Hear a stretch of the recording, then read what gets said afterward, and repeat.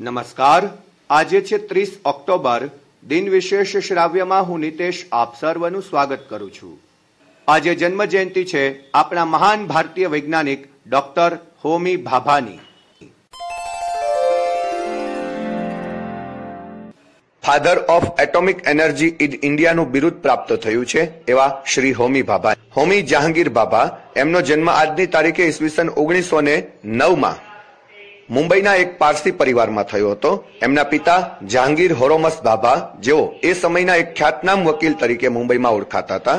હોમી બાબાનું શિક્ષણ મુંબઈમાં જ થયું અને એ પછીથી તેમને મુંબઈની એક ખ્યાતનામ કોલેજમાં તેઓ ફિઝિક્સ વિષય સાથે ગ્રેજ્યુએટ થયા અને આ દરમિયાન તેમને કેમ્બ્રિજ યુનિવર્સિટીની એક જે એન્ટ્રન્સ ટેસ્ટ કહેવાય, એ એન્ટ્રન્સ ટેસ્ટ એમને પાસ કર્યો અને તેઓ કેમ્બ્રિજ યુનિવર્સિટીમાં વિશેષ અભ્યાસ અર્થે ગયા.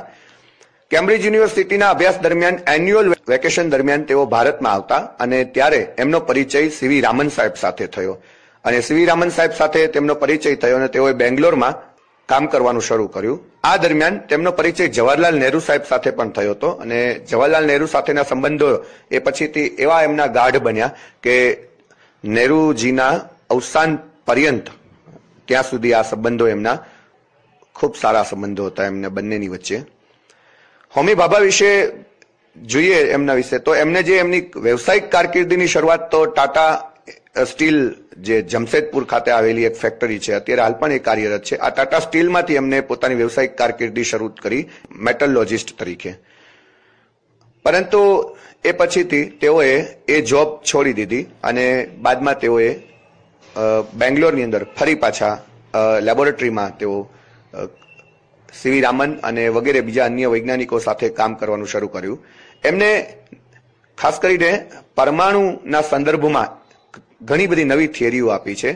જે આઇન્સ્ટાઇનની રિલેટિવિટી થિયરી છે, એનો આધાર લઈ અને એમને એક વિશેષ પ્રયોગ કરી અને સાબિત કરી બતાવ્યું કે જો પરમાણુઓને અમુક ચોક્કસ રીતે જો તોડવામાં આવે ન્યુક્લિયરને, અથવા તો એના ઉપર અમુક ચોક્કસ પ્રક્રિયા કરવામાં આવે, તો એમાંથી કે, એક કોસ્મિક રેઝ નીકળે છે. આ કોસ્મિક રેઝ એમને બતાવી દીધું દુનિયાને કે એ કોસ્મિક રેઝનો ઉપયોગ આપણે અન્ય કામમાં પણ કરી શકીએ છીએ. એના દ્વારા આપણે એનર્જી પેદા કરી શકીએ છીએ. અને ઓગણીસો ને પંચાવનમાં તો એમને ત્યાં સુધીની ઘોષણા કરી હતી કે હવે પછીનો જે મારું મિશન હશે, હવે પછીનું જે કાર્ય હશે, એ એ હશે કે આ રેઝ અને આ ટેકનોલોજીથી હથિયારો પણ બની શકે છે. એટલે જે અત્યારે હાલ જે પરમાણુ બોમ્બ કે જે કંઈ કહી શકાય, એની જે આખી પાયાની વાત છે, એ હોમી ભાભાએ આ ટેકનોલોજીની શરૂઆત કરી હતી. અને કદાચ હું એવું માનું છું અંગત રીતે કે આ કારણોસર જ એમના સાથે ક્યાંક દગો જીવનમાં થયો હોવો જોઈએ. સાચું શું છે તો હું કે તમે હજુ જાણતા નથી. This is my personal opinion Homi બાબાજીને Bharat સરકાર તરફથી ઓગણીસો ને ચોપનમાં પદ્મ ભૂષણનું સન્માન પ્રાપ્ત થયું હતું. અને આ ઉપરાંત એમને ઘણા બધા એવોર્ડ્સ પણ મળ્યા હતા. આદમ જે એવોર્ડ્સ એક પારસી પરિવાર તરફથી અપાતો હોય છે વિશ્વ સ્તરે, એ એવોર્ડ એમને ઓગણીસો ને બેતાલીસમાં અર્પણ કરવામાં આવ્યો હતો. ઓગણીસો ને પિસ્તાલીસમાં એમને Tata institute for fundamental research સેન્ટરની સ્થાપના કરી હતી અને એ પછી ઓગણીસો ને અડતાલીસમાં atomic energy institute in India એની સ્થાપના કરી હતી. આ ઉપરાંત ટાટા જે ઇન્સ્ટિટ્યૂટ ફોર ફંડામેન્ટલ રિસર્ચ સેન્ટરમાં તો તેઓ પ્રોફેસર તરીકે પણ કામ કર્યું હતું એમને ત્રણ વર્ષ સુધી. ઘણા બધા વિદ્યાર્થીઓને એમને તૈયાર કર્યા છે. ડોક્ટર વિક્રમ સારાભાઈને પણ ભારતની અંદર વિશેષ એમને સહકાર આપ્યો હતો અને વિક્રમ સારાભાઈએ એમની ઓટોબાયોગ્રાફીમાં આ વાત કબૂલ પણ કરી છે કે હોમી બાબાજીના સહકારથી જ આજે ભારતની અંદર તેઓ વિશેષ કામ કરી શક્યા હતા, જે ખાસ કરીને સ્પેસના રિસર્ચ ઓર્ગેનાઇઝેશનના સંદર્ભમાં જે કંઈ વાત હતી તો આપણા આવા મહાન વૈજ્ઞાનિક ભારતના એમનું અવસાન ઈસવીસન ઓગણીસો ને છાસઠમાં વિયેનામાં એક પ્લેન ક્રેશ થયું હતું અને આ દુર્ઘટનામાં એમનું અવસાન થયું હતું.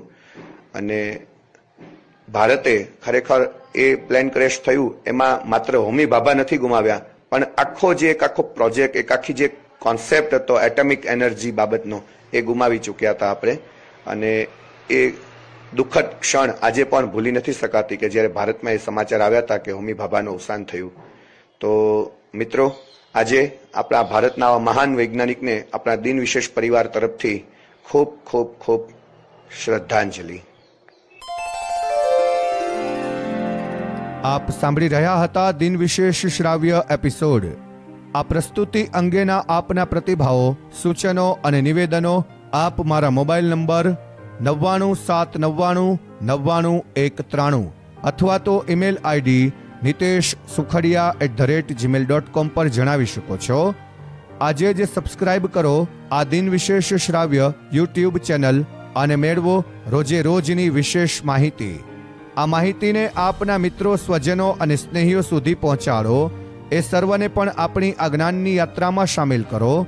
આપ સર્વનું જીવન હંમેશને માટે મંગલમય બની રહે. બસ એ જ શુભકામના, અસ્તુ.